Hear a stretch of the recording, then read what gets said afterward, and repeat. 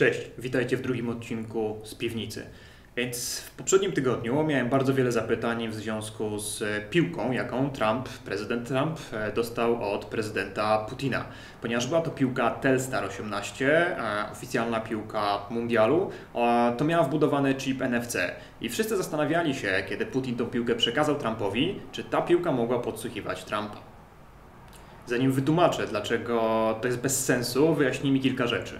E, ta piłka standardowo jest produkowana z chipem przez Adidasa, więc jest to seryjnie dostępna piłka. Każda piłka, którą znajdziecie w sklepie, taki chip ma. E, ten chip jest pasywny, czyli jest to tak naprawdę zwój anteny, który sam z siebie nie działa, nie emituje żadnego e, komunikatu, żadnych informacji. Mm, chip, który jest podpięty do tego zwoju anteny, jest wzbudzany dopiero polem elektromagnetycznym, które pochodzi od telefonu komórkowego.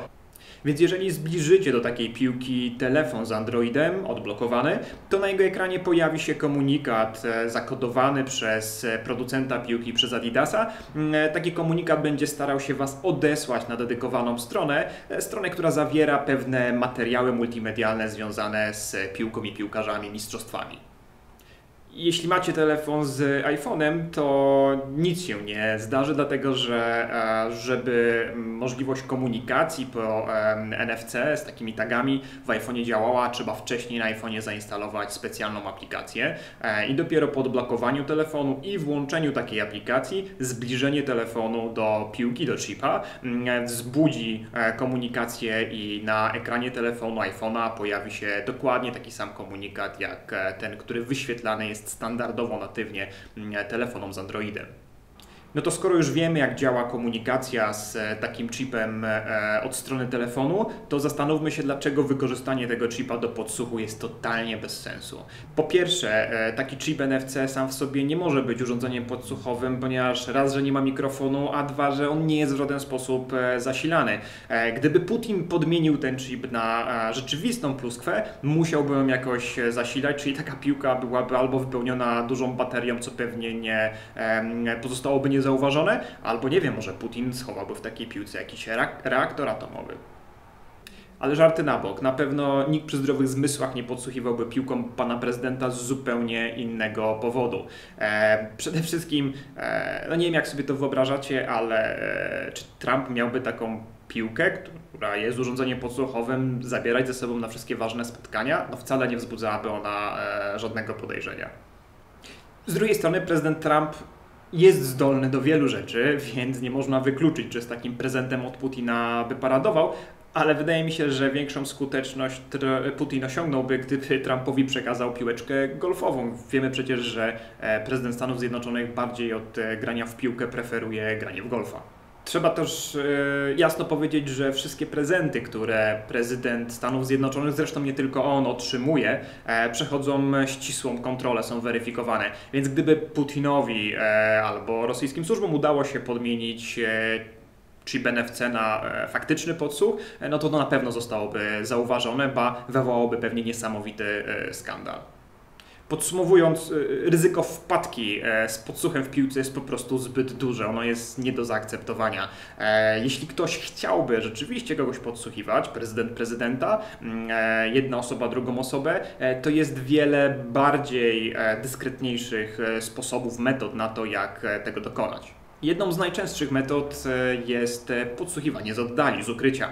E, istnieją całkiem dobre, służące do tego celu, mikrofony laserowe. Problem w tym, że to są całkiem drogie zabawki i mają pewne ograniczenia związane ze sposobem ich wykorzystania. Dlatego większość podsłuchów, z jakimi spotyka się w przypadku różnych spraw związanych ze szpiegostwem gospodarczym, na przykład podsłuchiwanie prezesów firm, to tak naprawdę małe pluskwy, które są zasilane z baterii e, albo podpinane do sieci elektrycznej e, i w związku z tym chowane w trudnych do zauważenia miejscach w gabinecie prezesa. Bardzo często będzie to wnętrze gniazdka elektrycznego, no bo tam możemy podpiąć taką pluskwę do zasilania. To może być wnętrze listwy zasilającej, praktycznie każdy ma taką listwę mm, pod swoim e, biurkiem, ale równie dobrze taką pluskwę można schować w kloszu lampy, czy też na przykład w czujce przeciwpożarowej, czujce dymu, która znajduje się przy suficie.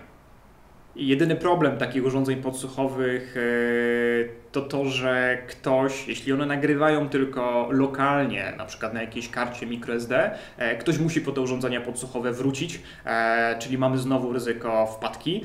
Dlatego też większość z tego typu tańszych podsłuchów po prostu transferuje to, co słyszy mm, poza lokal, głównie na jakimś paśmie radiowym i do każdej pluskwy dostrojony jest odbiornik radiowy, który pozwala z pewnej odległości podsłuchiwać to, co dzieje się w e, podsłuchiwanym pomieszczeniu. W związku z tą komunikacją radiową e, bardzo łatwo można takie pluskwy zidentyfikować, wykryć, ale to w zasadzie jest temat na e, osobne nagranie. Jest również mało prawdopodobne, że prezydenta Trumpa ktoś podsłuchiwałby tego typu rozwiązaniami, dlatego że prezydent podróżuje ze swoimi agentami Secret Service, którzy w dość dobry sposób opiekują się e, prezydentem i starają się zapewnić mu e, odpowiednie, bezpieczne warunki do pracy, e, gwarantujące poufność rozmów.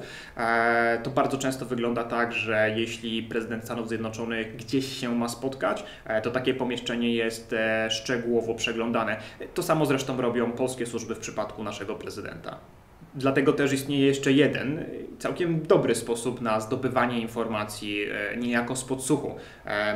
Lepszym od pluskwy źródłem informacji będzie człowiek, e, ktoś, kto jest przekupiony, e, zastraszony albo po prostu zmanipulowany, w tym przypadku przez rosyjskie służby. Bliski współpracownik prezydenta Trumpa, który donosi, informuje rosyjskie służby na temat tego, co się dzieje, pod warunkiem oczywiście, że ma dostęp do konkretnych informacji informacji. I jeśli mieliście okazję czytać e, raport amerykańskich służb specjalnych e, dotyczący tego, jak Rosjanie wpływali, e, próbowali wpływać na wyniki wyborów prezydenckich w Stanach Zjednoczonych, tych wyborów, w których startował właśnie prezydent Trump, no to możecie zauważyć i w szczegółach przeczytać o tym, ilu bliskich prezydentowi Trumpowi osób spotkało się w Rosji i nie tylko na terenie Rosji z osobami, które e, są e, oficerami e, służb bezpieczeństwa mm, właśnie Rosji, co oznacza, że podczas takich spotkań mogło dochodzić do przekazywania informacji albo wręcz służby mówią z dużym prawdopodobieństwem, że do przekazania, przekazywania informacji dochodziło.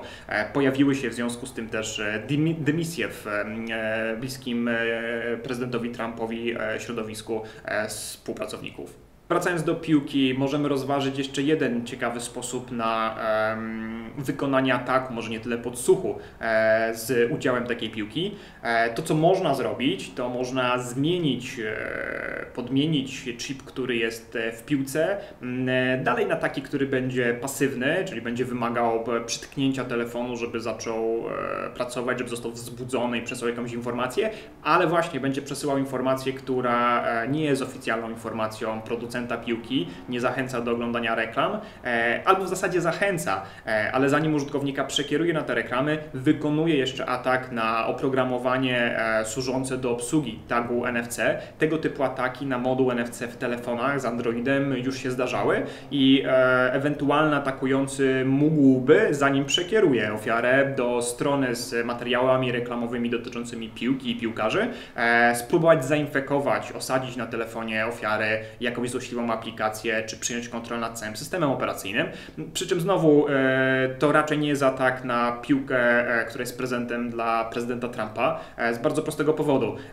Jeśli ktoś nawet taki chip by podmienił, no to znowu po fakcie można byłoby zauważyć, że ten chip, chip był podmieniony, że atak miał miejsce, więc zero dyskrecji, jak najbardziej nie nadaje się to do cichego inwigilowania środowiska prezydenta, ale jest to ciekawy wektor ataku. A, i mały bonus na koniec. To, co tu widzicie, to jest e, sprzęt, z którego korzystamy podczas naszych tajnych, niebezpiecznikowych e, operacji. E, ten sprzęt wygląda jak kabel do ładowania telefonu. Jest to kabel mikro USB i ten kabel jest dość specyficzny, dlatego że on ma tutaj taką ciekawą wtyczkę.